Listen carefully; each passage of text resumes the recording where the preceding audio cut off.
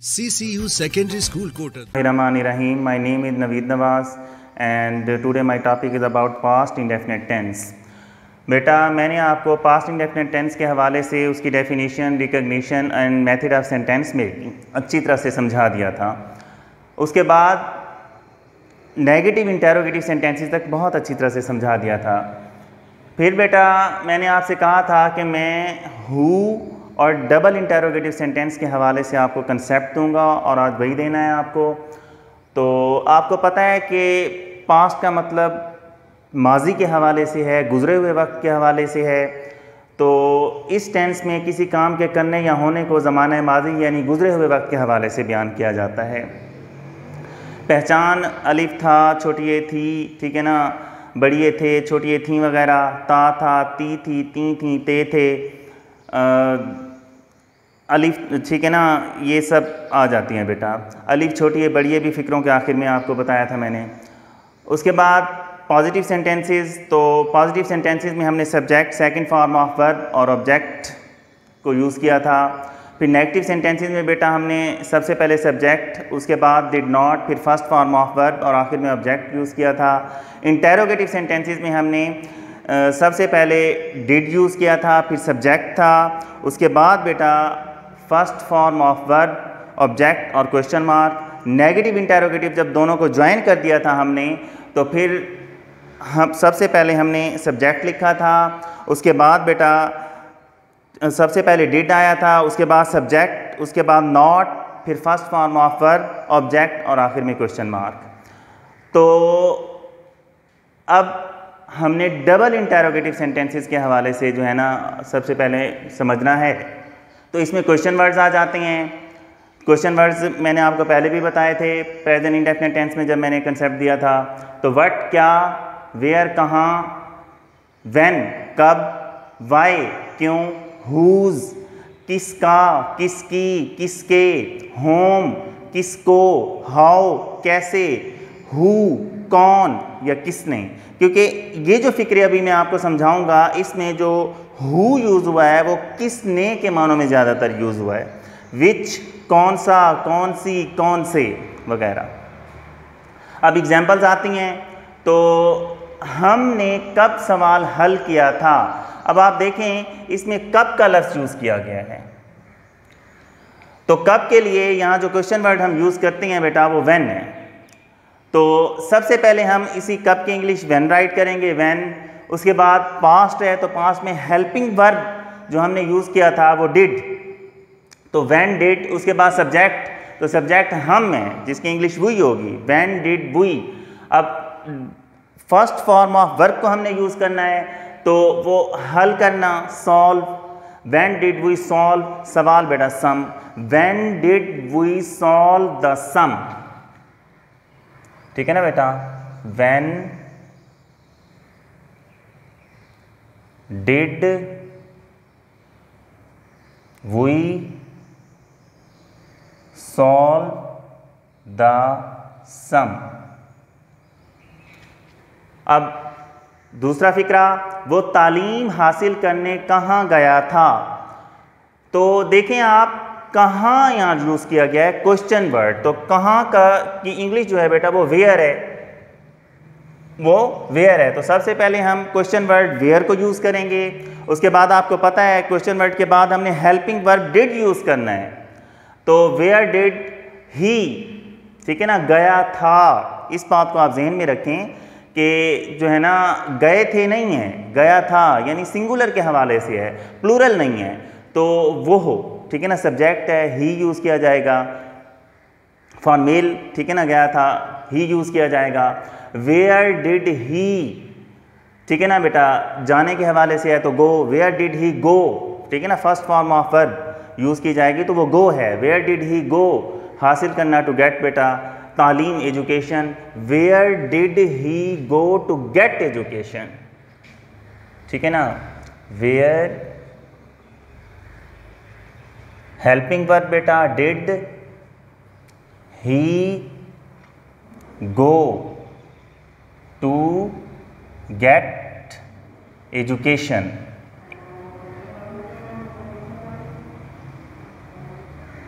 अब ये जो क्वेश्चन वर्ड्स हैं, ये मैंने आपको बताया था कि ये सबसे पहले हमने लाने हैं। ये डबल इंटेरोगेटिव सेंटेंसेस कहलाते हैं। तो इनमें जो क्वेश्चन वर्ड ये सब हैं, ये हेल्पिंग वर्ब जो पास्ट इंडेफिनेट टेंस में हम डिड हेल्पिंग वर्ब यूज़ कर रहे हैं, उससे पहले लिखे जाएँगे। ये बात जहन में रखिए। अब तुमने ये नक्शा कैसे बनाया? तो यहाँ क्वेश्चन वर्ड देखें, कैसे है? तो कैसे के लिए जो वर्ड हम यूज़ करेंगे, वो हाउ है। तो हाउ डिड ठीक है ना? हेल्पिंग वर्ब अभी आपको बताया मैंने। हाउ डिड अब तुम एज सब्जेक्ट यूज़ किया जा रहा है तो यू हाउ डिड यू नक्शे की बात है बेटा, ज़ाहिर है ड्रा किया जाना है उसे, बनाया, बनाने के हवाले से।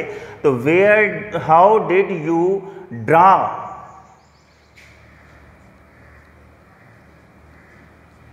this map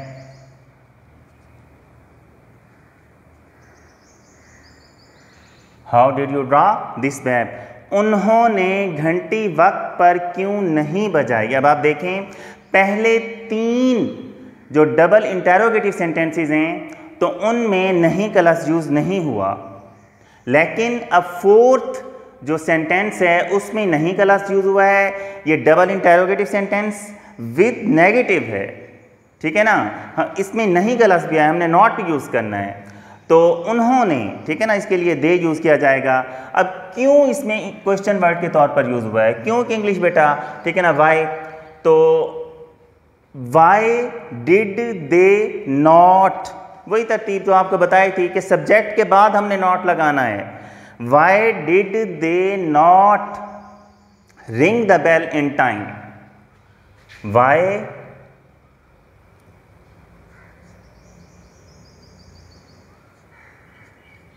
did they not ring the bell bell बेटा घंटी, वक्त पर, इन टाइम। उसके बाद इसमें भी बेटा, ठीक है ना ना का लफ्ज़ यूज़ किया गया है, यानी नेगेटिव के हवाले से भी हमने इसमें जो है ना लिखना है। तो उसने आपसे ताउन क्यों ना किया? ठीक है ना बेटा? अब क्यों आया है इसमें भी? क्वेश्चन वर्ड तो उसने ही why did he not cooperate ताउन करना cooperate first form of verb है. Why did he not cooperate with you आपसे with you why did he not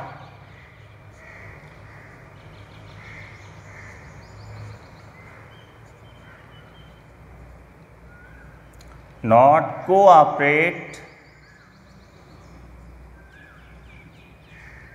with you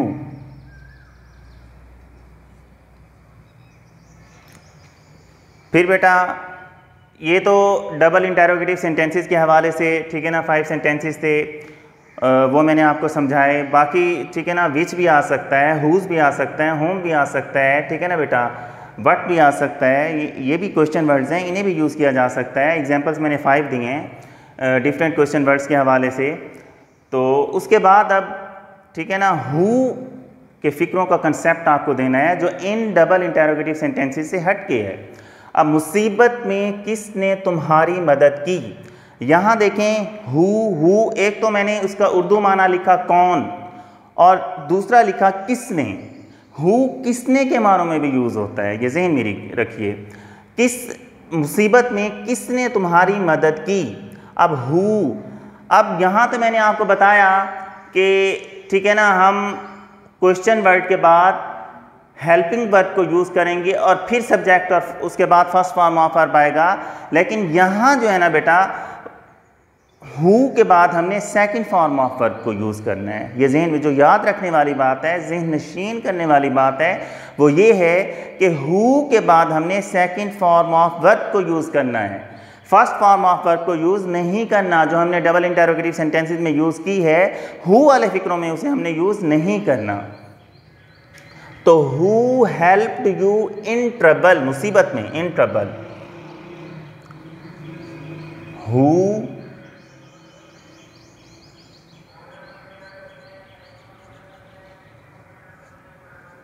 help you in trouble ठीक है बेटा, बात जहन में रखें और वो ये कि हु वाले फ़िक्रों में हमने हेल्पिंग वर्ब डिड यूज़ नहीं करना, ठीक है ना बेटा हेल्पिंग वर्ब डिड यूज़ नहीं करना और उसके बाद हमने, ठीक है ना फ़र्स्ट फॉर्म ऑफ़ वर्ब वो भी यूज़ नहीं करनी।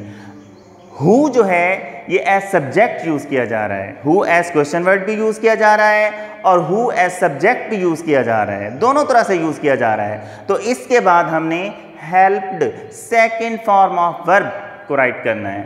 किसने मेरी किताब चुराई थी? अब किसने के लिए आपको पता है जो क्वेश्चन वर्ड हम यूज़ करेंगे वो हु होगा? तो हु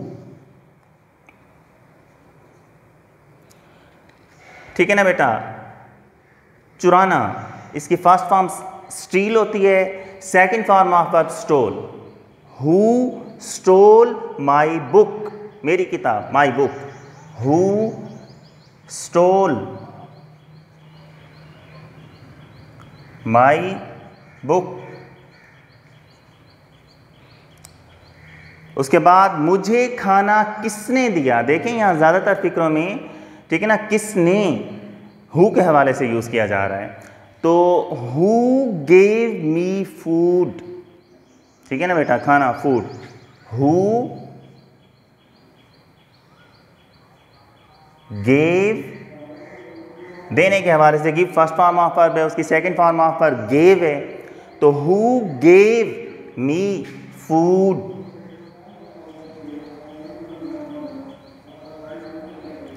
उसके बाद ये, ठीक है ना बेटा फ़िक्रे थे, किसने के हवाले से? अब वहाँ ज़ाहिर है आपको पता है कि हु का माना उर्दू फ़िक्रों में कौन भी होता है तो वहाँ कौन गया? Who went there go first form है, उसकी सेकंड फॉर्म वेंट तो यहाँ बेटा हु वेंट ठीक है ना बेटा? वेंट देयर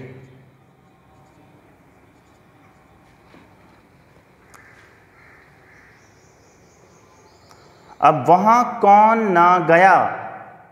अब देखें, यहाँ हु वाले फ़िक्रों में नहीं का लफ्ज़ भी यूज़ हो गया है एज नेगेटिव सेंटेंस अब हमने इसे ट्रांसलेट करना है। तो ठीक है ना डबल इंटेरोगेटिव सेंटेंस भी है, इसमें नेगेटिव सेंटेंस ठीक है ना, वो भी। तो हु डिड नॉट अब हमने हु के बाद जो हेल्पिंग वर्ब यूज़ करना है, वो डिड लेके आना है, नहीं के हवाले से। क्योंकि नहीं आया बेटा तो डिड नॉट आना है। Who did not go there ठीक है ना? वहाँ कौन ना गया? Who did not go there did not के बाद आपको पता है, मैंने नेगेटिव सेंटेंसेस जब समझाए, आपको बताया था कि डिड नॉट के बाद हम first form of verb use करते हैं। यहाँ नेगेटिव सेंटेंसेस के हवाले से बात हुई है तो इसलिए हमने डिड नॉट के बाद फ़र्स्ट फॉर्म ऑफ़ वर्ब को यूज़ करना है। यहाँ वहाँ कौन गया? ठीक है ना बेटा? ये डबल इंटेरोगेटिव सेंटेंस बना। अब इसमें नेगेटिव को हमने शामिल किया। ना का लफ्ज़ आया, नहीं का लफ्ज़ भी ठीक है ना, आ सकता है। तो हमने डिड नॉट यूज़ करना है। एज हेल्पिंग वर्ब ठीक है ना? डिड यूज़ करना है, फिर नॉट लगाना है नेगेटिव के लिए। और फिर first form of verb go who did not go there फिर सांप किसने देखा था? ठीक है ना बेटा? तो ये डबल इंटेरोगेटिव सेंटेंस है, इसमें, ठीक है ना, किसने के लिए हमने हु को यूज़ करना है? आपको बताया मैंने कि हु को हम एज सब्जेक्ट भी यूज़ करते हैं और एज क्वेश्चन वर्ड भी यूज़ करते हैं। और उसके बाद जो इस तरह के फ़िक्रे होते हैं, जिसमें, ठीक है ना, नहीं या ना का लफ्ज़ यूज़ नहीं किया जाता, हम second form of word use करते हैं। हु के बाद कौन सी form of word second form of word को यूज़ किया जाता है। तो हु सा देखने के हवाले से बेटा, ठीक है ना saw who saw a snake सांप English snake who saw a snake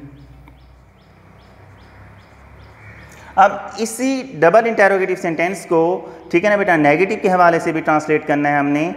सांप किसने नहीं देखा था?